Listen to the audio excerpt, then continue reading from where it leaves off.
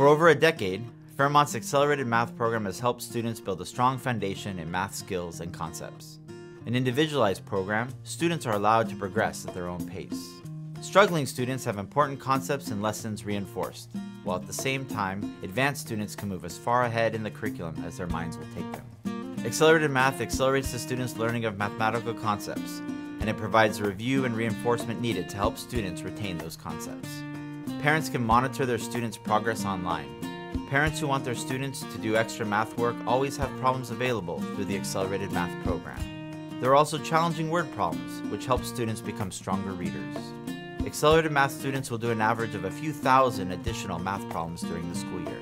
This allows students to handle advanced mathematical concepts at a younger age, and it pushes students and allows them to be challenged. There is no cap on what they can do or accomplish.